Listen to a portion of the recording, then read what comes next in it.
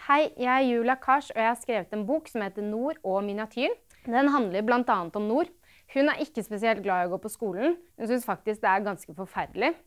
Hun liker ikke lekser heller, og dem blir det bare flere og flere av. Så slumper hun til å klippe fletten av en i klassen, og hun biter kanskje bitte litt også en annen. Og så, på toppen av dette her, så klarer hun ved et slags uhell å melde seg på årets juleshow uten å ane hva hun skal stille opp med. Hvor mye verre enn det her kan det egentlig bli, tenker Nord. Hun vurderer faktisk å kidnappe seg selv. Men så tar livet hennes plutselig en uventet og mystisk retning, og det skal dere få høre mer om i dette kapitlet. Kjellerdøren knirket da hun åpnet den. Det var mørkt, men Nord fikk snart øye på en snor som hang og dinglet fra taket. Hun dro i snoren, og et svakt lys la seg over den smale, bratte trappen. Trappen ledet ned til et middels stort rom med hvite murvegger og grått gulv. Rett frem var det en ytterdør med vindu, den førte ut i hagen, og Nord så snøen som lå dyp i trappen utenfor. På veggen til venstre var det skrudd opp solide trehyller. Hyllene var støvete og dekket av spindelvev, spindelvev, og med unntak av et par gjenglemte blikkbokser, tomme. Blikkboksene kunne kanskje brukes til noe. Skyte blink med snøballer, f.eks. Nord hutret. Det var kaldt å gå i bare sokkelesten.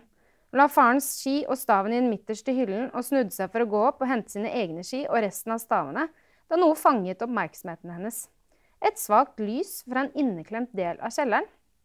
Ved siden av kjellertrappen, der taket begynte å skråne nedover, stakk det ut en slags bjelke, og på baksiden av bjelken så det ut som om det var en smal krok som strakte seg videre innover. En sånn krok burde vært mørklagt, men noe kastet likevel svake, dansende skygger på veggen. Eller Nord måtte nesten gå nærmere. Hun beveget seg langsomt rundt bjelken og tittet. I alle dager! Innerst i kroken sto det noen møbler. De var så små at de minnet om dukkemøbler. Et spisebord, fire pinnestoler og et treskap med glassdører. Hadde de som bodde her før dem, satt igjen dukkeleker? Det virket ikke som om møblene var plassert tilfeldig, snarere tvert imot. Dette var en vanlig spisekrok. På spisebordet sto det telys. Flammene blafret. Nord grøsset. Hvorfor var telyset tent? Hun så seg kjapt over skulderen. Det var vel ingen andre her nede, var det vel? Nei, hvor skulle de ha gjemt seg? Nord gikk enda nærmere og satte seg på huk. Flammen i telyset kastet flakkende skygger mot veggen. Det sto en seng der også, så Nord nå, med både dyne og pute oppi, og ved siden av sengen var det et nattbord. På nattbordet lå det en bitte liten bok. Det var bilde av noen stjerner og planeter på omslaget, og Nord klarte så vidt å lese tittelen. Livets mysterier. Noen hadde lagt en filleri på gulvet. Liten, men likevel helt lik den de selv hadde på kjøkkenet. Og da la Nord merke til at de små dukkemøblene var en nesten tro kopi av deres eget spisebord og stoler.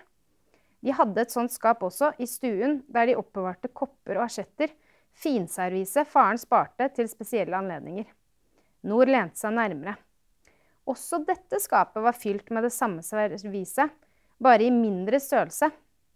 En halvspist marsipanfigur lå på spisebordet, og over den ene stolen hang en rød strikkegenser, helt maken til den Nord hadde på seg.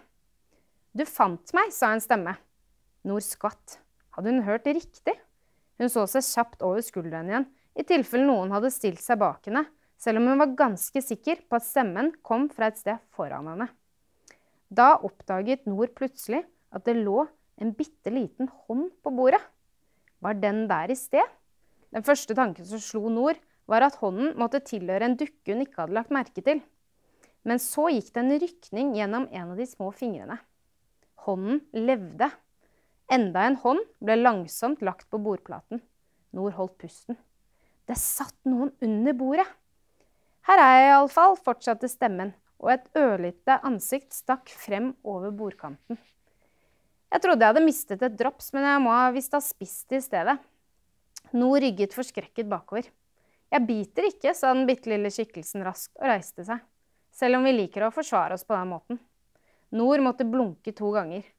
Skikkelsen foran henne var ikke særlig større enn en rotte, hvis rotten sto oppreist. Nord gransket det smale ansiktet. Det kunne ikke være mulig. Syns du jeg ligner på deg? sa han plutselig. Jo, det var et slags menneske som sto foran henne. Men det var verre enn det. Det var en miniversjon av Nord selv. Hva slags vesen er egentlig dette her? Og kan den hjelpe Nord? For det blir verre. Mye verre. Hei! Hei!